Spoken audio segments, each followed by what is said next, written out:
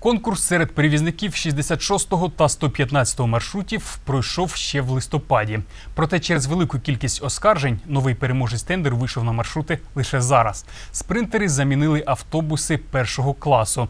А чи всі вони відповідають вимогам, роздивлялася Анастасія Фісюра. Спринтери Мерседес Б-класу на 66-му маршруті замінять уживані лоцмани. 16 автобусів так званого першого класу мають більшу пасажиромісткість. Таким чином ранкові черги покорочують, а пересування має стати більш комфортним. Очередь была аж до хлебного киоска по утрам вообще, ну, минут 40 нужно было стоять в очереди.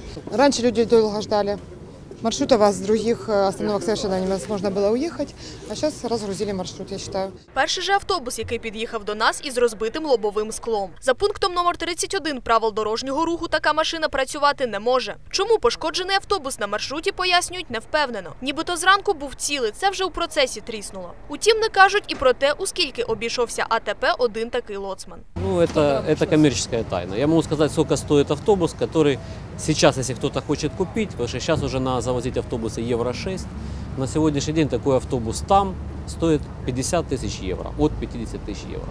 Тим часом обслуговувати 115-й маршрут теж вийшли чотири лоцмани, але обладнані газобалоновою установкою. Подібні, каже директор АТП, вже їздили на 120-му маршруті. Замість диспалива вони використовують газ. Це більш екологічно. На сегодняшний день в Европе очень большое количество транспорта ездит на газу, вот, а поскольку мы как бы задали вектор направления нашего государства, мы стараемся как бы не отставать.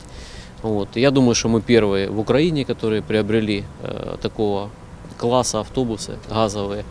Будем внедрять в городе Днепропетровске. Впроваджувати цей екологічний вид транспорту запевняють будуть без підвищення вартості проїзду, адже витрати на паливо та газ майже однакові. Замінювати ж маршрутні таксі на автобуси планують поступово протягом року. Спринтерол где-то сейчас балансируется на уровне 50% от общего выхода на линию. Но менять его можно только планово, проводя конкурсы, то, чего мы добиваемся, и то, за что мы все время боремся, даже в судах. Анастасія Фесюра, Максим Бодриченко. Новини 9 каналу.